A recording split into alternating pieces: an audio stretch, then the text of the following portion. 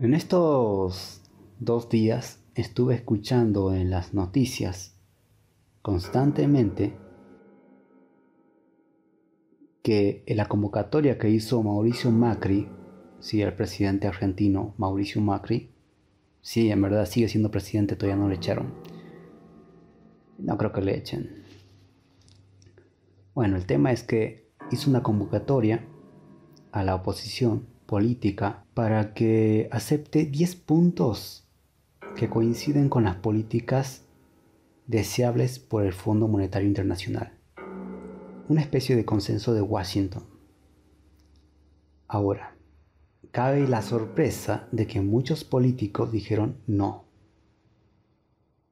que no iban a aceptar esos 10 puntos. Pero llamó la atención un punto y aquí yo llamo a pensar al revés. ¿Por qué los medios de comunicación se prestan a este juego? Es irracional que el presidente de la nación pretenda que una oposición durante o poco antes de las elecciones realice un consenso con el actual presidente para apoyar unas políticas que le arruinan su eslogan de campaña política porque habrá elecciones presidenciales dentro de poco. El tema es que es tan infantil pensar que alguien aceptará su convocatoria en reafirmar las políticas de ajuste, despidos y todo lo que lleva consigo, que es el camino a una continua recesión económica me deja serias dudas sobre si realmente ese es el motivo. Y empecé a estudiar esto desde otro ángulo. Sospecho que el presidente hizo esa convocatoria innecesaria y ridícula para hacer quedar a los candidatos favoritos de él como opositores, que se perfilan como opositores, pero en realidad no lo son, seguirán su política, los hacen quedar como si fuesen realmente los candidatos opositores respetables. Claro, porque todos saben que ellos sí firmarán los 10 puntos que reclama el FMI. Pero el electorado, es decir, quienes votarán por esos políticos, no quieren saber nada con el Fondo Monetario Internacional. No quieren política de recesión, no quieren perder sus empleos, no quieren saber nada de eso. Entonces, ¿qué hace el presidente? Hace el papel de cuco para que el otro cuco parezca un héroe, parezca eh, su opositor. ¿O acaso no fue en Davos donde Mauricio Macri había dicho que Sergio Massa era su candidato favorito? En tres o cuatro años no puede cambiar eso cuando hay mucho dinero en juego, mucho dinero en juego en este tipo de política. Porque la política de Mauricio Macri básicamente es esto.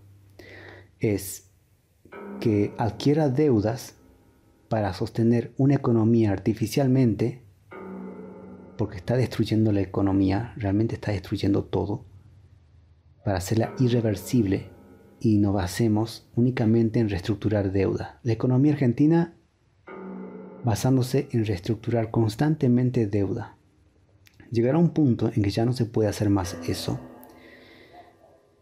porque alguien querrá que le sesionemos parte de las tierras.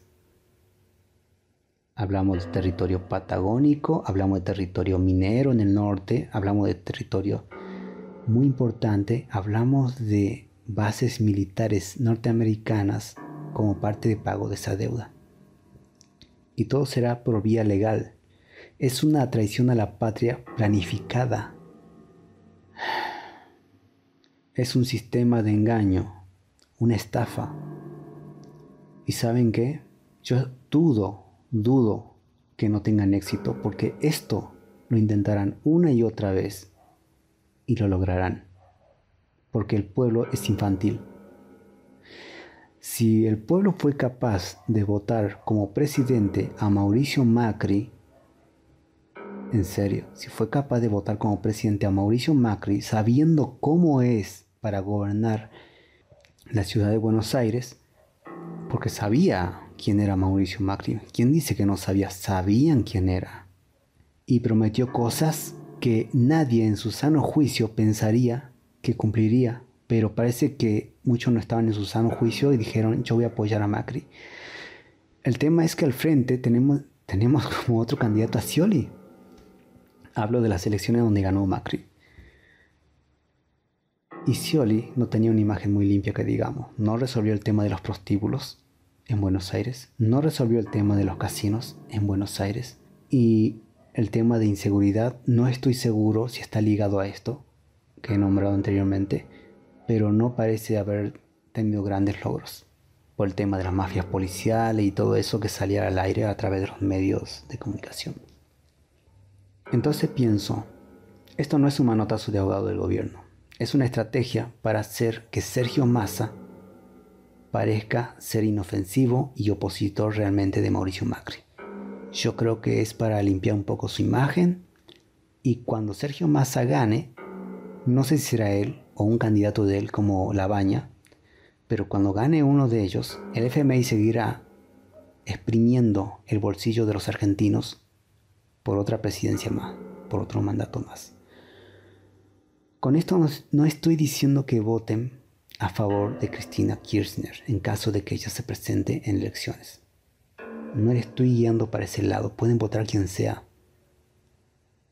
Le estoy diciendo con tiempo que hay una trampa muy inteligente que arrastrará al país a la miseria más grande de su historia. Y una vez más, aunque puedo decir te lo dije, no me hubiese gustado decirlo, estoy convencido que volverá a decirlo, te lo dije. Hasta el próximo video.